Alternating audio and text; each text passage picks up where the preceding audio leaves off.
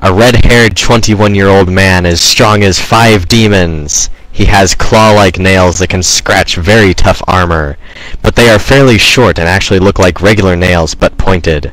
He has a nice tan-colored skin. His hair is red because he dyed it in a chaos fountain.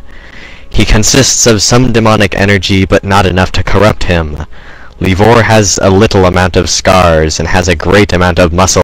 Blood elf, like the oceans.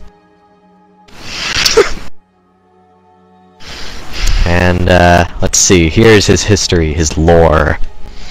Livor is a very serious man. He was born in Outlands. He once found a chaotic fountain. He dyed his hair red by dunking it in the fountain. His hair went from black to red, and now has a chaotic glow to his hair.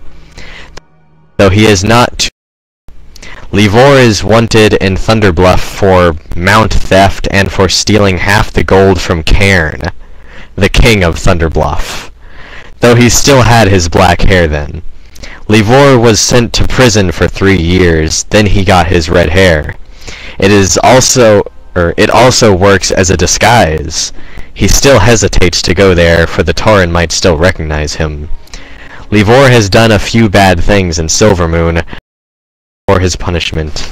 Livor, however, is getting less and less of a criminal. Wait.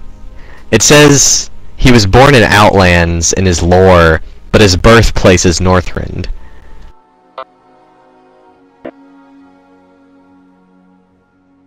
Dude, half of that thing was about his hair. Yeah.